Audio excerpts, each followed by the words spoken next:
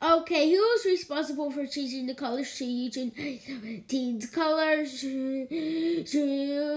No. Actually, it was your fault this time. What do you mean? Look at yourself.